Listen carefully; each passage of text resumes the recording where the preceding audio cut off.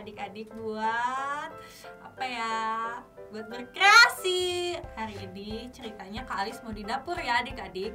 Mau tahu nggak apa permainannya? Kak Alis ambil ya. Tadam! Ini dia kitchen set. Wah serius ini bagus banget loh adik-adik permainannya. Mau tahu gimana aja permainannya? Ikutin terus Kak Alis ya di Asta and Toys.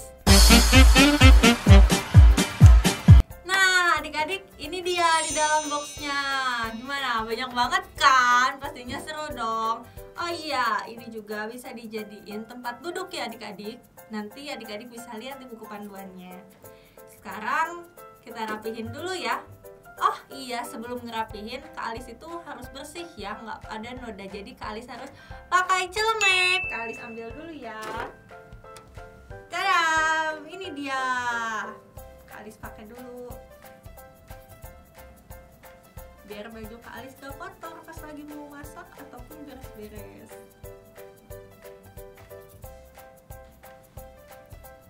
ya udah sekarang kita langsung aja ya ikutin terus Kak Alis ya buat masak. Pertama, Kak Alis tata dulu dapurnya. Kita taruh ini.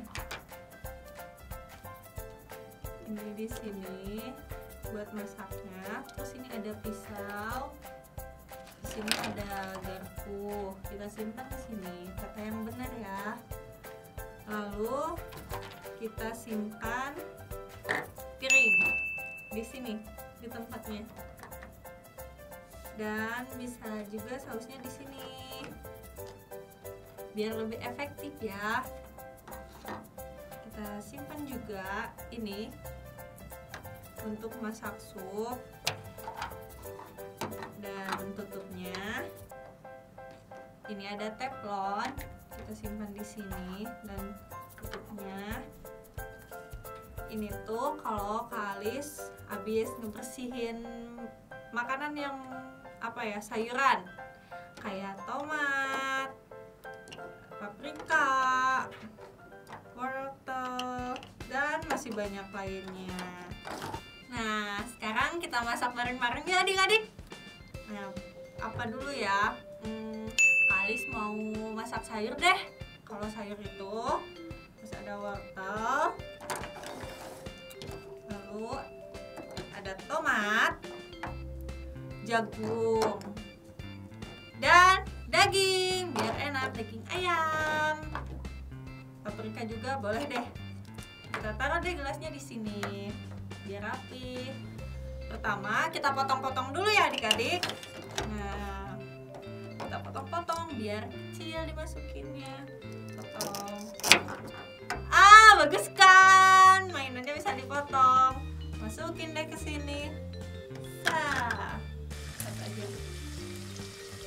Lalu kita potong tomatnya.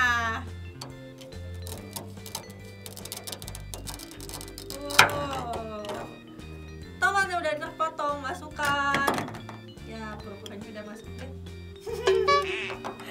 Lalu kita masukin jagung juga. Biar enak. Masukin. Dan paprika. Masukin.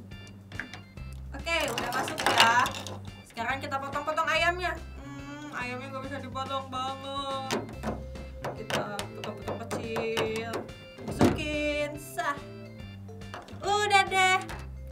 tunggu nyampe mateng ya. Tutup nyalain deh kompornya. Nih. Kita tunggu deh nyampe mateng sayurnya.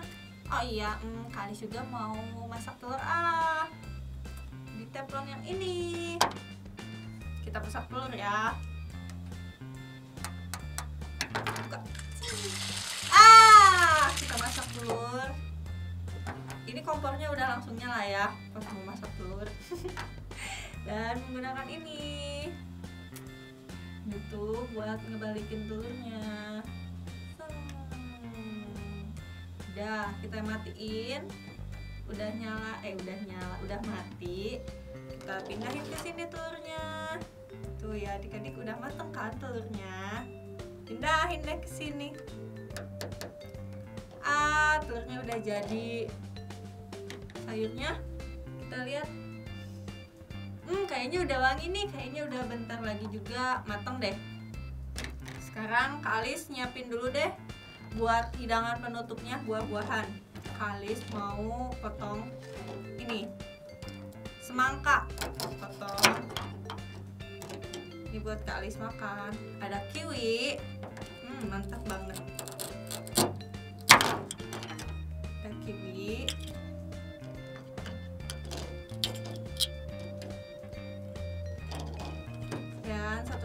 buahnya ada pisang. Oke ini buat hidangan penutupnya nih adik-adik. Sekarang kita lihat ya supnya. Wah udah mateng ini kita matiin. Sekarang kita pindahin deh selesai. Ini supnya. Ini hidangan penutupnya